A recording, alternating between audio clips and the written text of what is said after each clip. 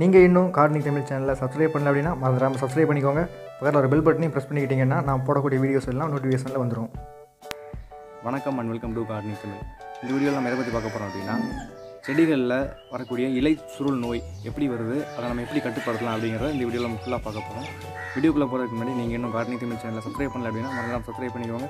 பக்கத்தில் ஒரு பெல் பட்டனையும் ப்ரெஸ் பண்ணிக்கோங்க. இது வந்து எங்கள் வீட்டில் இருக்கக்கூடிய தக்காளி செடி. இந்த செடி வந்து இலைச்சுருள் நோயினால் பாதிக்கப்பட்டிருக்கு. இந்த நோயை நம்ம வந்து எப்படி கண்டுபிடிக்கிறது அப்படின்னா இலை செடிகளுடைய மேல் பகுதியில் இருக்கக்கூடிய இலைகள் வந்து இந்த மாதிரி சுருண்டு சுருண்டு இருக்கும். கொஞ்ச நாளில் அப்படியே காஞ்சு போயிடும் இது மேலே மட்டும் தான் வரும் அப்படின்னு இல்லை. கீழேயும் வரும் முதிர்ந்த இலைகள்லையும் வரும். ஆனால் அதிகபட்சம் வந்து மேலே இருக்கக்கூடிய இளம் இலைகளில் தான் அந்த நோய் வந்து அதிகமாக தாக்கும். இந்த நோய் வந்து முதல்ல நம்ம எப்படியெல்லாம் பரவுது அப்படிங்கிறத ஃபஸ்ட்டு பார்த்துக்கலாம். இது வந்து ஒரு வைரஸ் நோய். இதை பரப்புறது வந்து வெள்ளை ஈ மற்றும் அஸ்வினி அப்படின்னு ரெண்டு பூச்சிகள் இருக்குது இந்த ரெண்டு பூச்சிகள் தான் மற்ற செடிகள்ல இருந்து இந்த செடிகளுக்கு வந்து இந்த நோயை பரப்புது. அதிகபட்சம் பார்த்துக்கிட்டோன்னா அந்த வெள்ளை ஈ பூச்சி தான் அதிகமாக பரப்புது. இதை நம்ம எப்படி கட்டுப்படுத்தலாம் அப்படிங்கிறத இந்த வீடியோவில் பார்க்கலாம். இப்போ செடிகளுக்கு வந்து பாக்டீரியா அப்புறம் ஃபங்கஸ் மூலமாக வரக்கூடிய நோய்களை வந்து நம்ம அதிகபட்சம் மருந்து தெளித்து அதை கட்டுப்படுத்திடலாம். ஆனால் வைரஸ் மூலமாக வரக்கூடிய நோய் வந்து செடியில் ஃபுல்லாக பரவிடுச்சு அப்படின்னா அதை வந்து நம்மளால் கட்டுப்படுத்தவே முடியாது.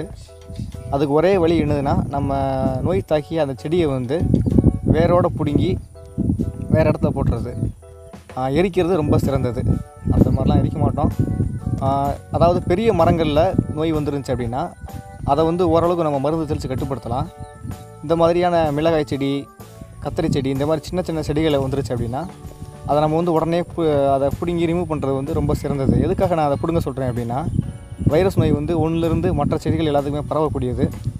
இந்த வெள்ளை பூச்சிகள் வந்து ஒரு செடியில் போய் சாறு உறிஞ்சிட்டு அதே இதோட மறுபடியும் இன்னொரு செடியில் போய் புரியும் பொழுது முன்னாடி உறிஞ்ச செடியில் வந்து அந்த நோய் இருந்துச்சு அப்படின்னா இந்த செடிக்கும் பரவ சான்ஸ் இருக்குது அதனால் நோய் தாக்கின செடி எல்லாத்தையுமே ரிமூவ் பண்ணிடணும்.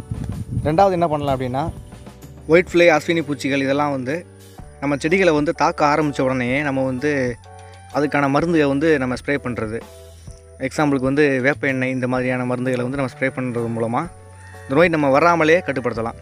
ஆக்சுவலாக இதுதான் வந்து ரொம்பவே சிறந்த ஒரு மெத்தடு அதனால தான் சொல்கிறேன் இந்த பூச்சிகள் வந்து வர ஆரம்பித்த உடனே நம்ம வந்து மருந்துகள் தெளிக்கிறது மூலமாக இந்த செடிகளை வந்து நோய்கள் வராமல் கட்டுப்படுத்தலாம். இந்த பூச்சிகள்லாம் நம்ம வந்து எப்படி அடையாளம் காணலாம் அப்படின்னா நான் நம்ம சேனல்லையே வெள்ளை ஈக்கள் வந்து எப்படி இருக்கும் நம்ம அதை எப்படி கட்டுப்படுத்தலாம் அப்படிங்கிறத பற்றின வீடியோஸ் வந்து நான் நிறையா போட்டிருக்கேன். இன்ட்ரெஸ்ட் இருந்தால் அதை போய் பாருங்கள் அப்புறமா இன்னும் ஒன்று இந்த இலைகள் வந்து சுருங்கிறதுக்கு முக்கியமான காரணம் என்னதுன்னா அது நம்ம செடிகளில் வந்து தண்ணி ஊற்றாமல் இருக்கிறதுனால வெயில் காலங்களில் அதிகமாக சுருள்றதுக்கு வந்து சான்ஸ் அதிகமாக இருக்குது இதனால் ஒன்றும் பெரிய பிரச்சனை கிடையாது. இது இந்த மாதிரி வெயில் காலங்களில் சுருண்டுச்சு அப்படின்னா நம்ம தண்ணியை நார்மலாக ஊற்றினாலே அது வந்து சரியாயிரும். அவ்வளோதான் இந்த வீடியோ உங்களுக்கு யூஸ்ஃபுல்லாக இருந்துச்சு அப்படின்னா லைக் பண்ணுங்கள் இதை பற்றின சந்தேகங்கள் ஏதாவது இருந்ததுன்னா கமெண்ட் பண்ணுங்கள் மறந்துடாமல் கார்னிங் தமிழ் சேனலுக்கு சப்ஸ்கிரைப் பண்ணிக்கோங்க.